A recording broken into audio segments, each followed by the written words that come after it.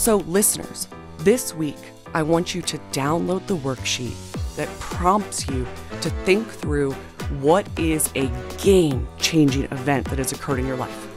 The point is to think about it and then recognize how it has made you stronger. So go to the website, dauntlesspodcast.com, and download the worksheet.